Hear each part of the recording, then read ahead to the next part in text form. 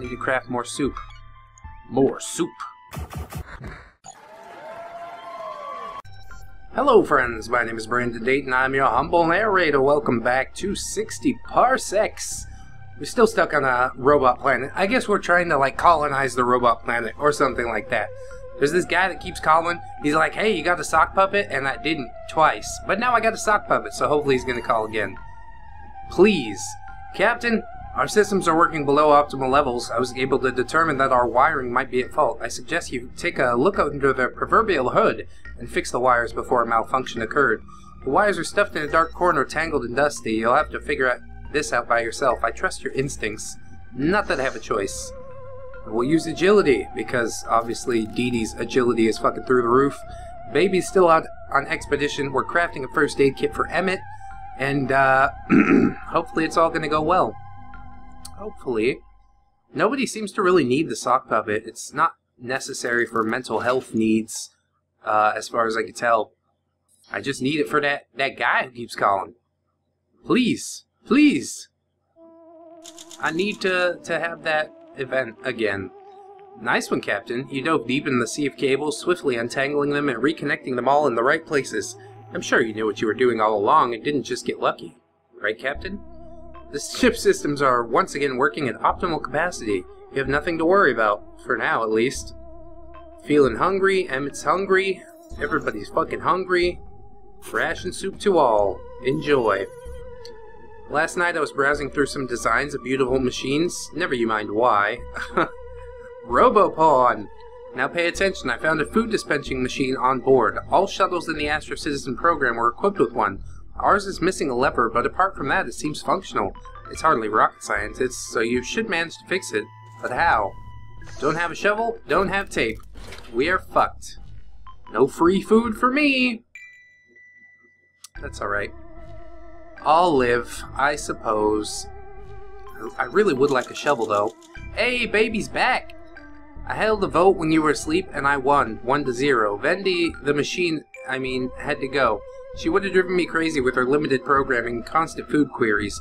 There's no reason for you to be mad. She wasn't giving up the soup rations to you either. If you look through the airlock, you can still wave goodbye to her as she floats away. this guy's evil. Uh, th or this machine, rather. Of course, if you're unhappy with the assortment of machines that populate the ship, you're free to file a complaint form number THX1138. Your objection will be considered as soon as you reach a new home world, you ungrateful bastard. Baby came back from the nearby robot village. The place isn't big, just a few streets and a few dozen robotic families at most, all of them peaceful. Anyway, Baby's state, mental state is a little fragile. He's famished, and his mental state's questionable. Baby got a few lungfuls of some thick smoke coming from some heavy machinery. Could be bad news. Baby walked through the village with his nose buried in the handbook until he looked straight into a puddle of something green and slimy. Yuck. Well, that's chemicals. We got some. Baby found some small dusty rocks and even a few gem behind the robotic houses. Good. Inhabitants of the village were kind enough to give Baby directions to the bomb craters and robot statue. Where does all this soup come from? It's the greatest mystery of the universe. And everything. But anyway, Baby came back carrying some rations.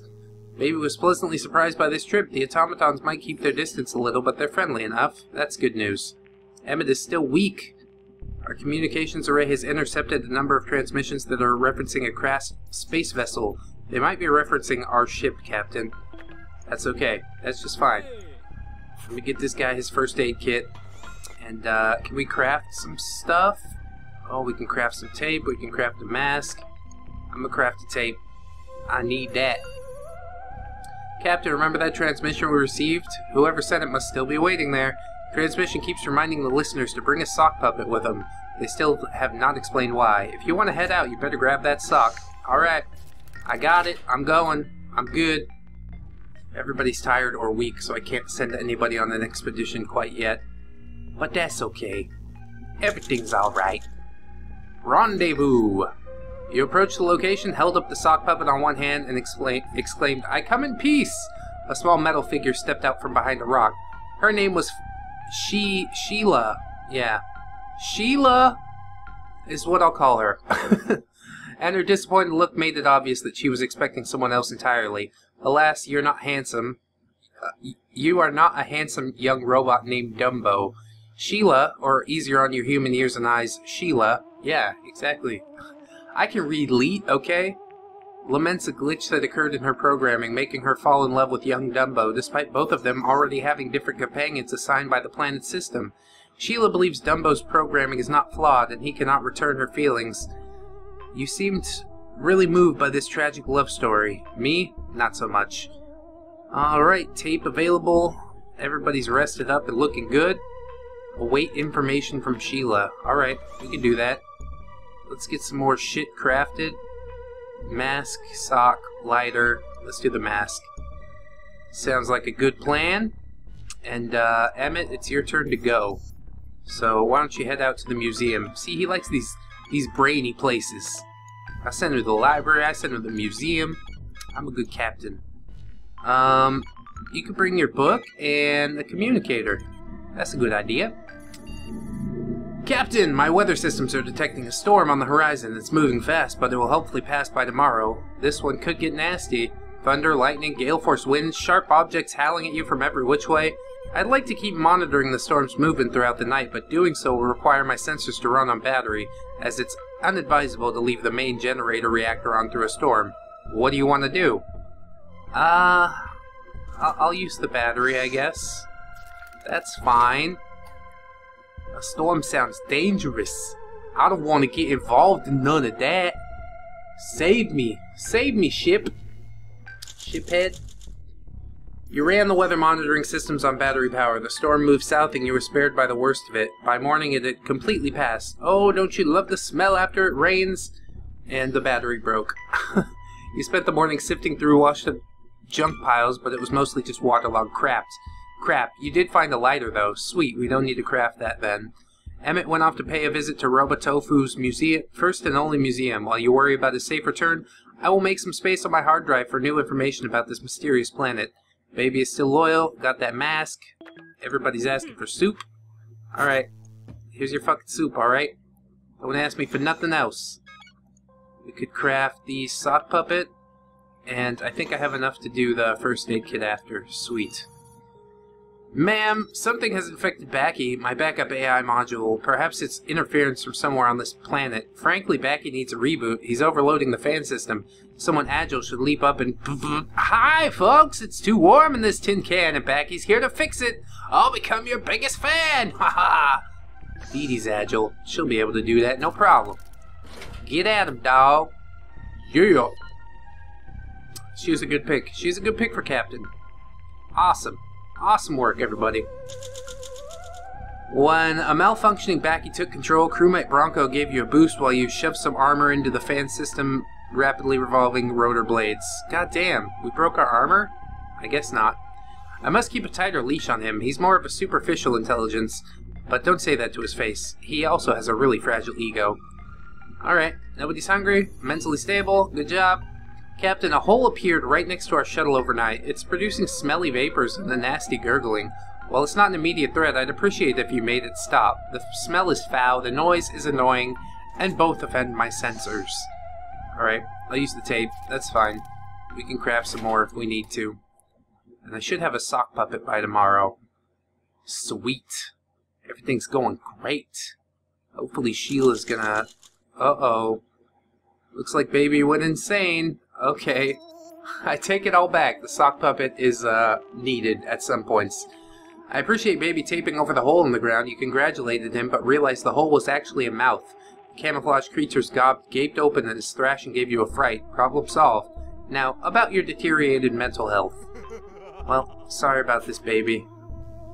Hopefully he doesn't, like, eat the sock puppet or something. Seeing as humans are slaves to emotions, I do understand why Sheila came back to get your advice on her romantic quest. Is there any way to make a different robot love her unconditionally, or is it possible for her to get rid of her defective feeling module altogether? Now's the time to reconnect with your basic human instincts. What do you feel is the best approach to effectively resolving Sheila's situation? I can't really tell which is which. Strength might be to get another robot to love her unconditionally, I have about the same chance either way, so I'll just go with agility. Like we do! And I should probably get that first aid kit crafting as well. Excellent.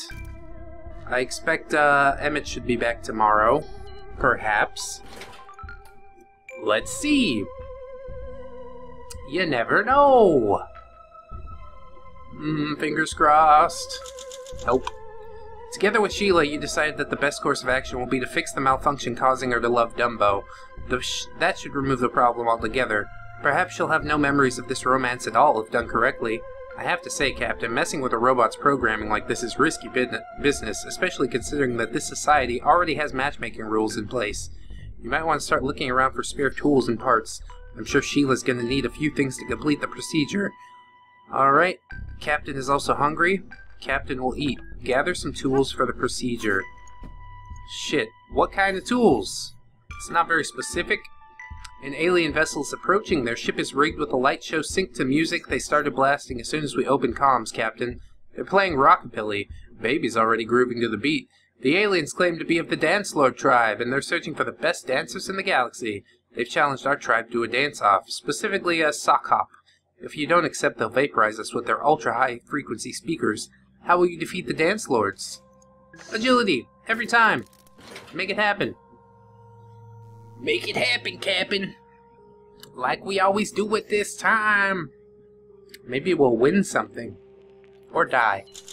You never know. You accepted the Dance Lord's challenge. They beamed you and Baby into their ship, and you sock hopped straight to the leader, Warbop. But he was no match for your wicked footwork and synchronized snapping. Warbop acknowledged your stills and let you go with his blessing. He even refilled our supply of chemicals. The sock hop ended with everyone sipping non-alcoholic fruit punch from a big glass bowl. Captain, I think you've been practicing your moves in the mirror. Emmet returned from his walk outside. He showed up exhausted, starved, and quite stressed out. His visit to the museum was rather educational. Did you know the inhabitants of this planet were actually created by a different race that lived here before them? Don't you wonder what happened to them? A few incredibly violent pictures and records shocked Emmet so much that he started backing away, stumbled, and suffered a painful fall. Emmet showed his trusty handbook to the museum custodian. The robot flipped through the pages with little excitement and pointed to an illustration in the book, then nodded towards something that looked like a drinking fountain, but filled with weird chemicals and oils.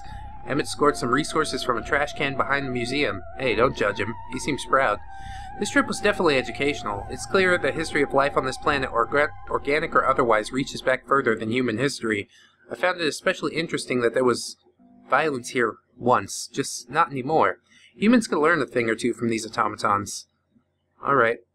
Baby would like to eat something. Well, we don't we didn't get any food from the museum, so I'm I'm sorry. I don't want to send him out while he's still hungry. Alright. Have you looked in the mirror recently, Captain? I couldn't help but notice that you've been afflicted with a rash of some sort. I hope it's nothing serious, but we can't rule it out rule out it being a symptom of a serious illness. You can never be too careful. I strongly suggest that you do something about the rash. I swear I'm not the only one worried about your health. It's really not how about how weird you look right now. I'll, I'll look up in the book, uh, maybe maybe something in the book. The book! The book can help me! Baby's gonna start starving in a couple days, so we need to get Emmet back out there ASAP. Hello there, Captain. You're looking very rested today. I can see that you found a way to deal with that mysterious rash that was bothering you earlier, and it consumed the entire book. That sucks. You couldn't figure out what the cause was, but at least you found instructions on how to treat it in your Astro Citizen handbook. It didn't have a name, so you gave it one. Cap Captania Uglinosa. Ugliosa. How thoughtful of you. Baby's still complaining about lack of rations, and we got a first aid kit, so that's good. We need to craft another sock, and then we'll get the rations going. Actually, we should do the rations first, I think. We received a pamphlet on our window. Try Ebos Ebosin. Ebosin. Universal shopping with the, from the comfort of your own planet. Free gift with sign up. Wow, neat. The eBosin Networks lets you order pretty much anything except food and water, and it will arrive via portal within one to two galactic business days. There's a catch, though. The account creation process requires you to jump through some hoops. I mean, literally. You have to jump through a string of temporal portals to become verified. The fine print says there's no risk of death or dismemberment, but insanity is possible. How do you want to tackle this? Agility! And Emmet can go to the robot statue. You'll enjoy that, won't you, boy? Sure will. Um, let's see. I guess maybe bring the artifact and the communicator. That'll do. And we're cooking up some food for baby, so don't you worry. Don't start starving on me. Everything's gonna be just fine, I promise. I promise. You're gonna do great. You're gonna do big things, boy. You touched the floor and quickly sprinted through the Ebos and sign-up portal, disappearing into a dimension breach with a flash of blue lightning. The shuttle rocked and popped you out the other side of the portal unharmed. The fine print of the pam pamphlet expanded to show that it would take one to two galactic business days for your verification to process, at which time you could begin your universal shopping experience. The pamphlet then expanded again to define one galactic business day as 525,600,000 minutes, or 1,000 Earth years. Finally, the pamphlet scanned the, sh scanned the shuttle to see if you qualified for the promised free gift, and determined you did not. When you asked why not, the pamphlet said you had violated the terms of service, but refused to explain further. Then it vanished in a cloud of annoying paradoxes. Emmet left for a walk around the robot statue. Let's just hope it's not a sightseeing trip. Extra supplies are always welcome. Baby is starving. Damn, I'm gonna have to make him even another soup. Another soup. Another one. Sheila the robot is currently trying to gather some mechanical parts and tools to help her fix the inconvenient glitch. She's hoping to get some rid of her unreciprocated feelings towards some robot fellow named Dumble as soon as possible. Do you have anything that she could use? Yeah, whatever you want, bro. Here, take this. Take this. It's good for you. I got some tools. Just don't come to me asking for a shovel, because I don't know how the fuck to get one, or make one, or whatever. Good thinking, Captain. A lighter can be used in many different ways, such as soldering two stray cables together, or burning a big hole in something. Sheila was grateful, so I'm sure she can find a good use for it. Of course, if you want to tamper with delicate nanoprocessors, it's best to use high-quality precision tools, but this will have to do for now. I should warn you, Captain, this society might not look favorably on outsiders interfering with a robot's mechanisms, even for good reasons. Sheila's really counting on you, though. Well, it's, uh, it's just how it goes. It's just how it goes sometimes. I need to craft more soup. More soup. I'm detecting a huge energy surge beneath the surface, seismic waves. I think there's an earthquake coming. The shuttle's sturdy, but this ground isn't. Soil has a high potential to liquefy when the earthquake hits. There's a better patch of rocky ground a few yards ahead. You could use the shuttle's thrusters to scoot onto it, but if you overshoot, you'll be on even worse ground than you are now. Will you attempt the maneuver? Of course. Am I just gonna sit here with my dick in my hand? I mean, my vagina in my hand? I don't know what's going on! Did we do it? Did we succeed? Can we please succeed? And Sheila, don't come back asking me for more lighters and shit. Use the shuttle's thrusters to scoot onto a better patch of ground, coming to rest on the edge of the rocky soil the moment the earthquake hit. For a few nightmarish seconds, the shuttle bucked to and fro like a bad atmospheric entry, but the shaking stopped and you opened your eyes, and the strangest silence followed, and then you laughed. Emmet found his way back from the robot statue. He's really tired, and is asking if somebody could warm up some soup for dinner. He looks a little confused.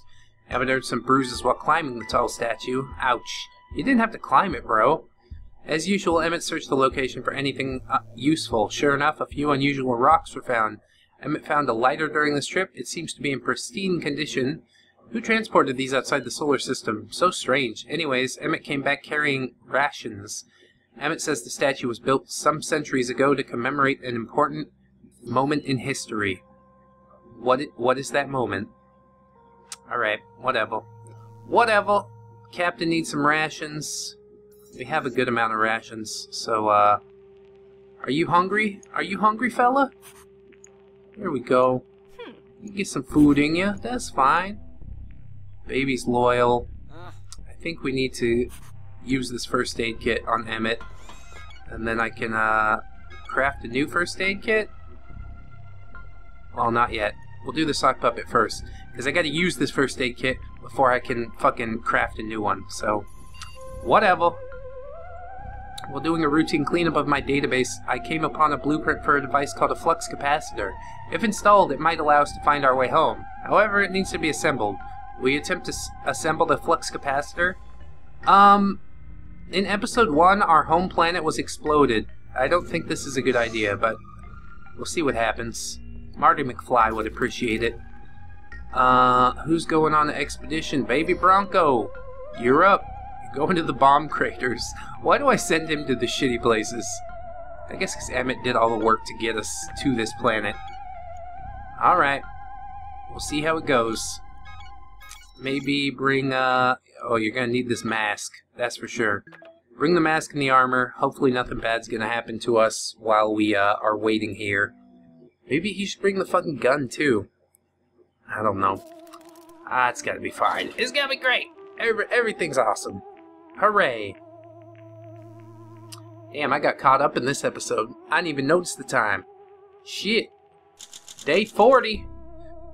You were trying to assemble the flux capacitor yesterday, and things went terribly wrong. One false move caused the contraption to explode. You got injured, but thankfully you weren't teleported anywhere, or when, any when. Baby left to explore a bunch of holes in the ground. Riveting. Hmm. I'm injured now. God damn. I don't want the captain to die. Well, I suppose that's about all for this episode, friends. I sincerely hope that you have enjoyed. Please don't forget to like, comment, subscribe, hit that little bell notification thing because apparently subscribing doesn't mean anything anymore. I would appreciate all of those things. Also, if you really want to make my day, check out the links in the description to Twitter, Discord, Patreon. Big shout out to Nico the Legend and MMX Akira for their current support on Patreon. Those boys, my heroes. We'll get back to 60 parsecs relatively shortly. I gotta call it for for the day, but um, yeah. I sat down, recorded a good chunk. It's looking like we might be able to make our way back home, or at least out of the situation we're in. We just have to await more information from Sheila, and you know, give her the shit that she asks for. So. I could do that. I could do all that. I just need to repair this uh, this battery. I'm sure that's going to come in useful. Anyways, once again, friends, this has been 60 Parsecs. I've been Brandon Dayton, your humble narrator. I shall see you in the next one, friends. And until then, bye-bye. One, two, three, four. Goodbye, goodbye, see you again. Goodbye, goodbye, see you, my friends.